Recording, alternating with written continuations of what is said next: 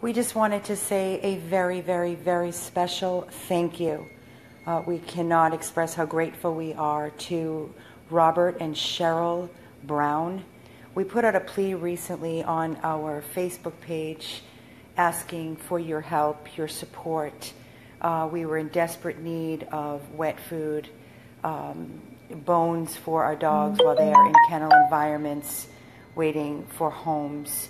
Um, so we received a case here from um, Robert and Cheryl Brown of wet food. Also, we received two elk uh, antlers for our dogs to chew on while they're in kennel environments, waiting again for their forever home. We desperately are in need of harnesses, so we received one, two, three beautiful harnesses, along with three life saving belly bands one, two, and three. Um, I just wanted to say thank you and to let you know how much we very much appreciate you and your support.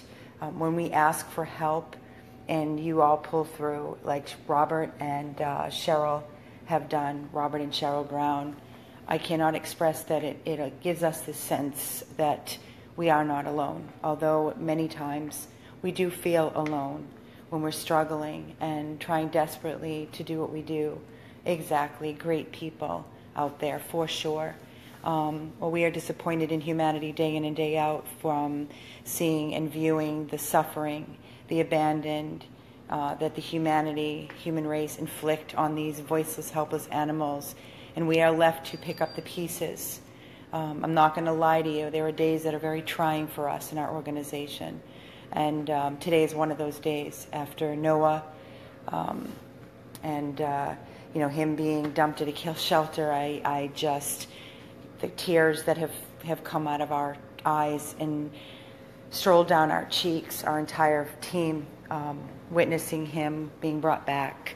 Um, thankfully, he's safe with us. And um, I just want to say thank you to Robert and Cheryl for this amazing donation and how grateful we are.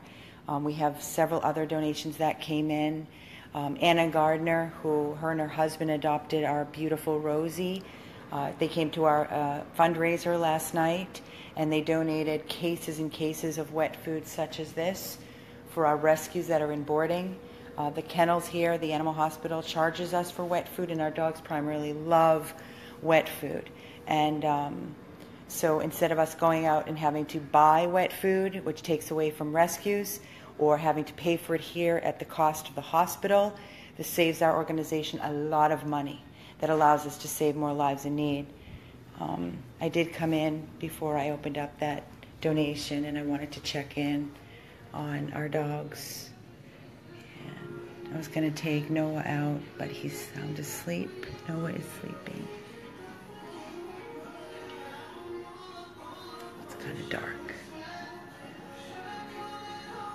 There's Noah. Helen.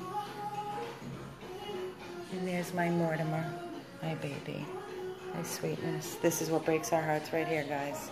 Mortimer, waiting for heartworm treatment, rescued from Miami-Dade Kill Shelter. Hi, beautiful girl and our sweet Noah, who's back safe with us. We, it's okay, mummies. I didn't want to wake anybody up. So I'm running out of battery. I have a weak connection, as usual. But again, just wanted to say a huge shout out, special thank you to this wonderful couple, Robert and Cheryl Brown. We love you, appreciate you. Um, guys, please donate what you can. The wish list is up there with what we desperately need to continue.